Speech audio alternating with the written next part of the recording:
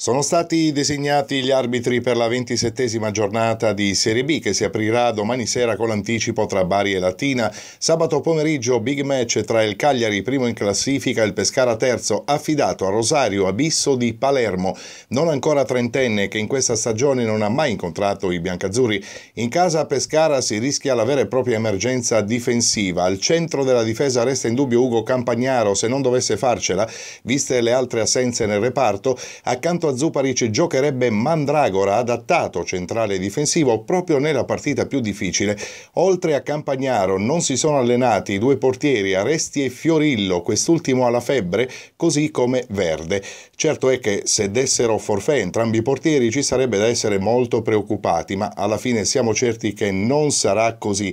Rientrano dalla squalifica il centrocampista Valerio Verra e l'attaccante Gianluca Caprari, ma potrebbe esserci una possibilità per giocare dall'inizio per Andrea Andrea Cocco che non gioca da diverso tempo se non da subentrato e per il 29enne attaccante sardo nato a Cagliari e cresciuto nel Cagliari sarebbe una grande soddisfazione ma tant'è può solo sperare.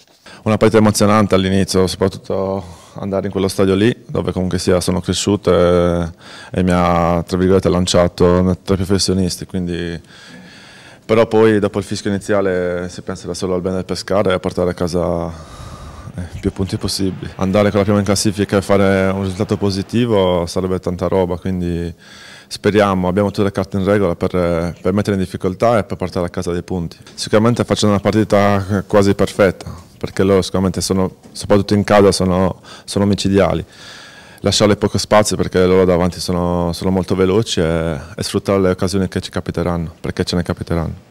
Il torpedone biancazzurro partirà dall'aeroporto d'Abruzzo domani pomeriggio con un volo charter. Anche i tifosi possono approfittare del pacchetto che prevede il viaggio insieme a Balkan Express e soggiorno in hotel in camera doppia, tutto a 210 euro più 21 euro per la tribuna del Santeria, prevendita dei tagliandi fino a domani sera alle ore 19. Intanto il 24enne difensore del Cagliari Marco Capuano, che sabato sarà assente per infortunio, è stato rinviato a giudizio per guida in stato di ebbrezza dal Tribunale di Pescara. Il 20 gennaio del 2014 Capuano, che militava nel Pescara, alla guida della sua auto uscì fuori strada sull'asse attrezzato provocando il ribaltamento della vettura che rimase distrutta. Il giocatore restò illeso così come il suo allora compagno di squadra Uros Ciosic che viaggiava con lui. Il tasso alcolemico di Capuano risultò di circa il doppio oltre il limite di legge.